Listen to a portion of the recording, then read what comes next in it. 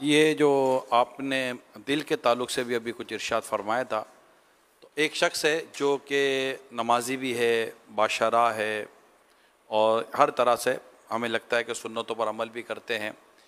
مگر اگر وہ یہ کہتے ہیں کہ یار کیا کروں؟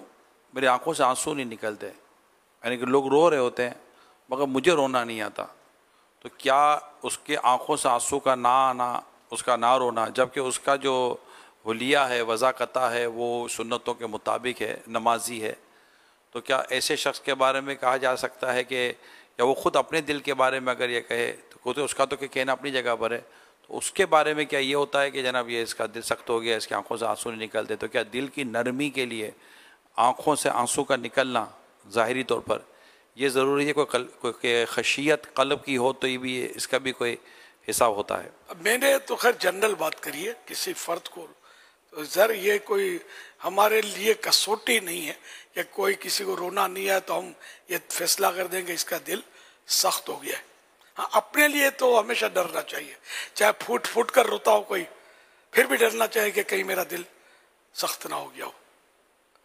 دوسروں کے لیے یہ جو بھی میں نے کیا، اس میں نہ کسی کو ہنستا ہوا دیکھ کر یہ کہ اس کا دل مردہ ہو گیا ہے، کسی کو نیکی کی دعوت دی تو وہ مطلب ہماری بات مانتا نہیں ہے اور رائے راست پر آ نہیں رہا۔ تو ہم یہ اس کے تعلق سے الفاظ نہ کہیں گے، اس کا دل سخت ہو گیا ہے۔ ہم میں نے اپنی اپنی کریں گے۔ ایک تو یہ کہ اس کو اگر کہیں گے تو اس کے دل آزاری بھی ہوگی۔ دوسرا ہے کہ یہ ہم فائنل کر نہیں سکتے کسی کے بارے میں کہ ہو سکتا ہے کہ ان قریب اس کو ولایت ملنے والی ہو۔ اللہ پاک کا ایسا کرم ہونے والا ہو کہ اے رضا، ہر کام کا ایک وقت ہے۔ دل کو بھی آرام ہو ہی جائے گا۔ تو یہ کہ کوئی ایسا وقت آنے والا ہو کہ وہ آپ سے بہت زیادہ آگے بڑھنے والا ہو۔ اور اپنے لیے تو ہمیشہ ڈرے آدمی۔ بھلے روتا ہے، نیکی کی دعوت دیتا ہے، لوگ اثر بھی قبول کرتے ہیں۔ بے نمازی نمازی بن جاتے ہیں اس کی باتوں سے۔ سب کچھ ہو رہا ہے۔ لیکن اللہ کی بارگاہ میں اپنے آپ کو مطلب کہ وہ یعنی ڈرا کرے۔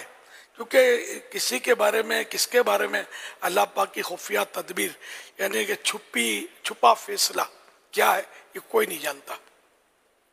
اس کے بارے میں کیا ہے کہ حدیث سے اس طرح کی ہے کہ کہ اللہ پاک اپنے فاجر بندے سے بھی، نافرمان بندے سے بھی اپنے دین کا کام لے لیتا ہے، دین کی خدمت لے لیتا ہے۔ مگر اس فاجر بندے کا، اس نافرمان کا کوئی اس میں حصہ نہیں ہوتا۔ تو میں نے اتنوں کی اصلاح کر دی، میں دنیا میں چھا گیا۔ میں نے یہ کیا، میں نے وہ کیا۔ جو میری بات سن، میرا بیان سنتا ہے، لرز اٹھتا ہے، رو پڑتا ہے۔ لیکن کچھ پتا نہیں کہ اللہ پاک کا چھپا فیصلہ اپنے بارے میں کیا بندہ ڈرے۔ کہ ایسا نہ ہو کہ یہ سب جنت میں جا رہے ہوں اور میں ان کو دیکھ رہا ہوں حسرت سے۔ میرا اللہ نہ کرے، کوئی فیصلہ کچھ اور ہو میرے بارے میں۔ یہ سب کو ڈرنا بہت ضروری ہے اور لازم ہے، کمپلسری ہے۔ تو یہ اگر میرا، یہ جو میں نے عرض کریں یہ اگر آپ نے ذہن میں بٹھا لیا نا، اللہ کرے گا، نہ تکبر آئے گا آپ کو، نہ مطلب ہے کہ اپنے آپ کو کچھ سمجھنے کا ذہن بنے گا۔ وہ نہیں یار، میں کچھ بھی نہیں، میں کچھ بھی نہیں۔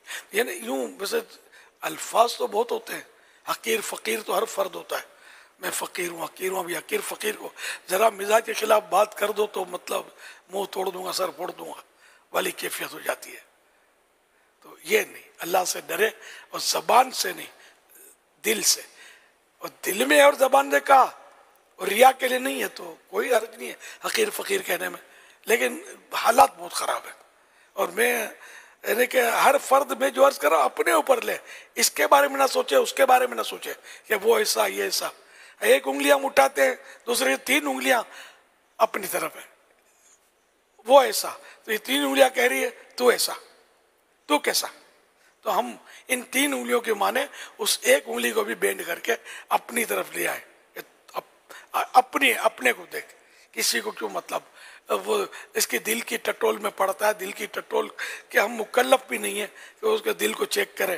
نہ ہمارے پاس کوئی ایسا اسکینر ہے کہ جس سے ہم دل کو چیک کر کے اس کے بارے میں یہ کچھ نکال سکیں کہ اس کے اندر کیا کیا بھرا ہے۔ سب کے لیے دعائیں خیر کریں تو انشاءاللہ اپنا بھی بیڑا پار ہو جائے گا۔ کہ اللہ سب کو نیک ہدایت دے۔ جو نیکی کے راستے پر نہیں ہے وہ آ جائیں۔